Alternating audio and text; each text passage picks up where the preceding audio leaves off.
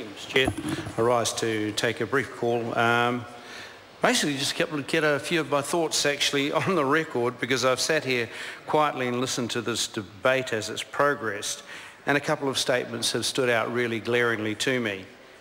Uh, I think New Zealand First has made its view very clear that we, we support this legislation. We are not unhappy with the moves to curb the level of increase that uh, members of parliament had been accorded by the remuneration authority. But it doesn't go far enough. And it does not focus on the top end of the civil service, those chief executives, those people who the minister says, such as the police commissioner, thoroughly deserve their three or four hundred thousand dollars a year they get paid. We don't accept that.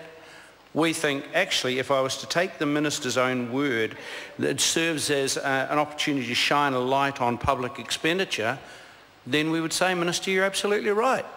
It does serve as an opportunity to shine a light on public expenditure. It's an absolute opportunity to look at seriously what senior civil servants are being paid. We have had many opportunities to listen to the National Party whilst in opposition over the years saying exactly that and saying exactly that about chief executive officers of, oh, what was one? Canterbury, Environment Canterbury, for example, and Christchurch City Council. So it really is time for some people to actually put a bit of, put, a, put their money where their mouth is and actually move on those things that once before seemed to be quite abhorrent to them and yet today they seem to want to justify. The bottom line is that New Zealanders, the very people that the Minister says that they're seeking to listen to in this legislation, are saying this as well, Minister. The levels of pay of some of our senior servants are unacceptably high to them. So I expect this government will come forward with another piece of legislation to deal with that matter as well. And if it means curbing the way in which the State Services Commission or the Remuneration Authority sets and measures and determines those salaries, then let's have that. Let's get on with it. And while we're there, let's have a look at how they deal with the salaries and the, uh, the, the allowances that are paid to local government elected officials. Some of the mayors in rural provincial New Zealand, and I can speak with authority because I've been one for four years, their remuneration levels are pathetic in comparison to the duties and responsibilities that those mayors hold.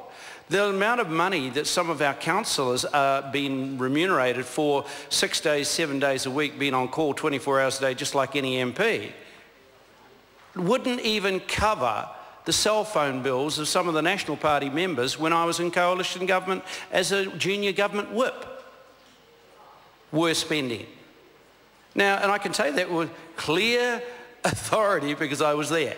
And as a whip, you know, and the Minister himself has been a whip, and he knows the exact expenditure levels of each and every MP, uh, both, when, uh, uh, both outside of the Cabinet. Mr. Mr. Chair? Mr. Chair? Just, I, no. Oh, I'm, remuneration. I'm, yeah. I'm, I'm not would okay. like the member, I would like the member to sit when I stand, please. Oh, sorry. Thank you.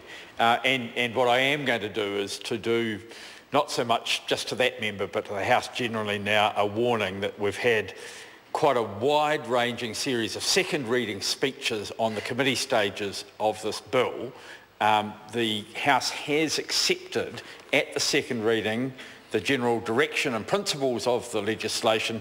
We're now talking about the technical details within the clauses, uh, and I'd like members from now on to speak to that. Thank you. Yeah, and, and I, like I said, I just wanted to speak to some of the, some of the comments that had been made.